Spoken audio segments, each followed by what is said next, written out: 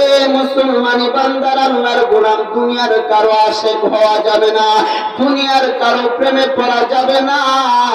আশেক হইলে মদিনার আশেক হতে হবে।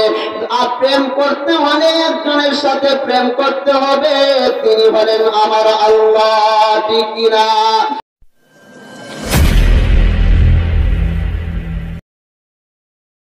এজন্য মুসলমান ভাইয়ারা, আমার এটাই কোন দুনিয়ার মাহফিল না এই মাহফিলটা হলো জান্নাতের মাহফিল। এ মুসলমানি বান্দার আল্লাহর গোলাম। আল্লাহ তারা একদল ফেরেস্তাকে পাঠায়, ও ফেরেস্তা তোমরা জমিনের মধ্যে যাও। যাইয়া দেখো কোন জায়গার মধ্যে কোরআনের আলোচনা হয়। আর আমার বান্দা বান্দিরা মনোযোগ আমলের নিয়তে, তওবা করার নিয়তে বসে বসে শুনে, ওই বান্দা যতক্ষণ পর্যন্ত, ওই বান্দি যতক্ষণ পর্যন্ত ওই মাহফিলে বসে, কোরআন এবং হাদিসের আলোচনা শুনবে, আর ওই বান্দা বান্দি যদি ওই অবস্থায় মারা যায়, তাহলে ওই বান্দা বান্দি জান্নাতি। অথবা আল্লাহর রাসূল বলেন, যদি কোনো ব্যক্তি ওয়াজ মাহফিল শোনার জন্য ঘর থেকে বের হয় এই অবস্থায় যদি রাস্তায় মারা যায়, তাহলে আল্লাহর রাসুল বলেন, ওই ব্যক্তিও জান্নাতি বলেন সুবাহান আল্লাহ আর তামান্না দিল সে রকুসদ হো গাই, আব তো আজা আব তো খেলুয়াত হো গাই, মাইলে মোমেন সোয়ে عید کافر سوی کافر می شواد زیارات مدینہ کی دل میں ہے تمنا نہیں ہے میرے بس सफ़र की समाना मदीना में जाना मदीना में मरना यही লাই হইলে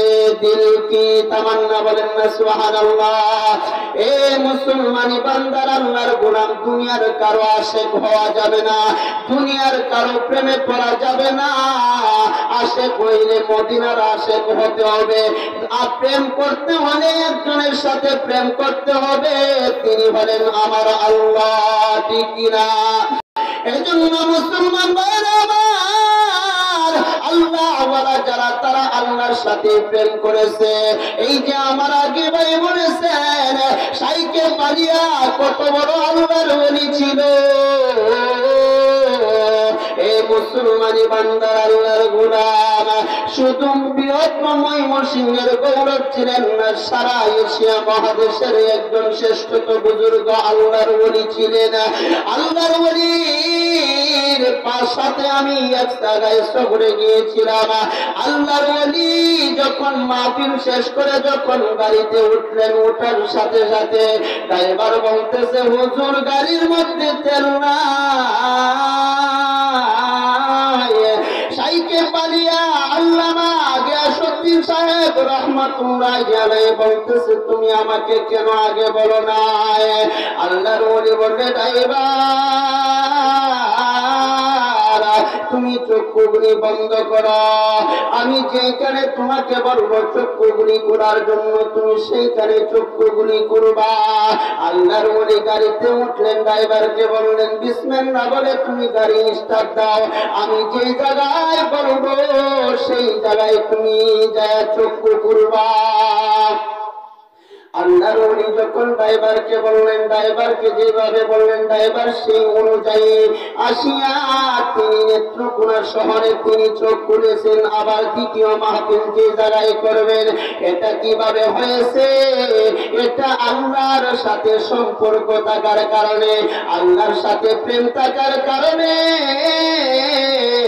আল্লাহর সাথে প্রেম করেছিল হজরত রাবিয়া বসরি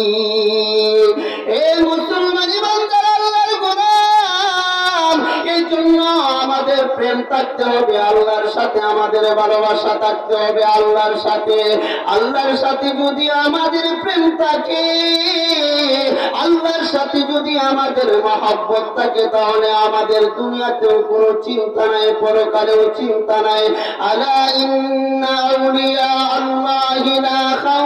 আলাইহিম হুম আমার আল্লাহ তারা ডাকতে পারেন যারা আল্লাহর সাথে প্রেম করেছে, আল্লাহর সাথে বন্ধুত্ব কায়েম করেছে, তাদের কোন পেরেশানি নাই, কোন চিন্তা নাই, কোন মুসিবত নাই। এ মুসলমানি বান্দার আল্লাহর গোলাম। আল্লাহর রাসূলের চারজন খলিফা ছিলেন কয়জন খলিফা তার মধ্যে সর্বশ্রেষ্ঠ ছিলেন হযরত আবু বকর সিদ্দিক রাদিয়াল্লাহু তাআলা আনহু। আবু বকর রাদিয়াল্লাহু তাআলা আনহু সম্পর্কে আল্লাহর রাসূল হাদিসের মধ্যে বয়ান করেন, আল্লাহর রাসূল তিনি একজন বেহেশতি লোকদের সর্দার হবেন।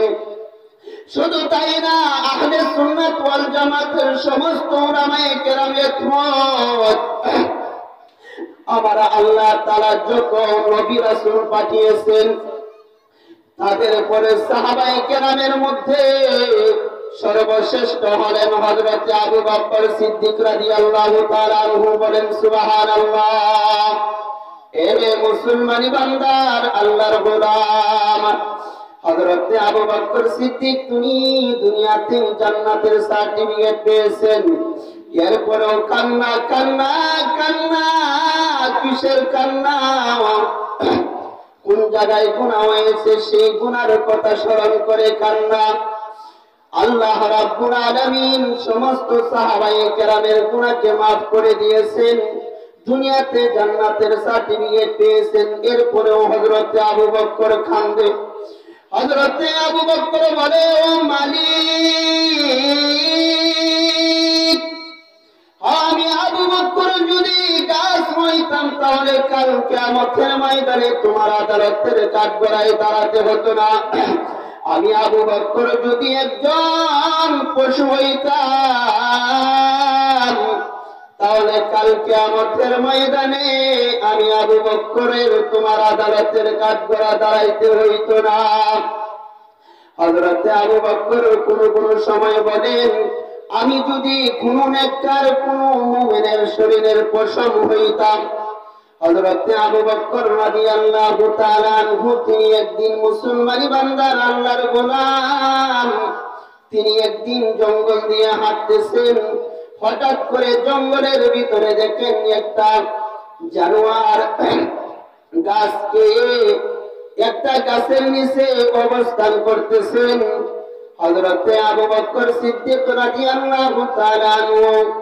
ওই জানোয়ারকে বলে, হে এই ময়দানে, এই জঙ্গলে তুমি বিচরণ করে আর খাও তোমার কোনো চিন্তা নাই, তোমার কোনো টেনশন নাই তোমার কোনো পেরেশানি নাই। কারণ মৃত্যুর পরে তোমার কোনো বিচার হবে না। আমি আবু বক্করের কিন্তু আল্লাহর আদালতের কাজ করায় দাঁড়াইতে হবে কি কিনা? এই মুসলমানি বান্দার আল্লাহর গোলাম, হযরত উমর রাদিয়াল্লাহু তাআলা তিনি শুধু এই বাংলাদেশের মতন সামান্য একটা রাষ্ট্রের বাদশা ছিলেন না। অর্ধজাহানের বাদশা ছিলেন। তিনি এই মুসলমানি বান্দার আল্লাহর গোলাম। আজকে সারা পৃথিবী যদি ঘোরা হয়, সারা পৃথিবীতে যদি শাসকদের কবর নেওয়া হয় উমরের মতন শাসক পাওয়া যাবে না। পাওয়া যাবে ভাই? পাওয়া যাবে? কোথাও পাওয়া যাবে? রাজি আল্লাহ কি সুন্দর করে রাষ্ট্র পরিচালিত করেছেন, কি সুন্দর করে সমাজ পরিচালিত করেছেন, দেশ পরিচালিত করেছেন। আমাদের সেই, আমাদের আখাবির থেকে শিক্ষা নেওয়া দরকার সাহাবাই কেরাম কীভাবে চলেছেন সাহাবাই কেরাম কীভাবে জীবন যাপন করেছেন? রাসুলে করিম ওয়াসাল্লাম কীভাবে জীবন যাপন করেছিলেন? আমাদের সেখান থেকে শিক্ষা নিতে হবে। আমাদের সেখান থেকে শিক্ষা হাসিল করতে হবে। আমরা যদি সেখান থেকে শিক্ষা না নিতে পারি, আমরা যদি এই সমস্ত সাহাবায়ে কেরাম ওই সমস্ত আল্লাহর ওলি বুজুর্গদের সহবত থেকে যদি শিক্ষা অর্জন না করতে পারি, তাহলে আর কোথাও গেলে আমরা শিক্ষা পাবো।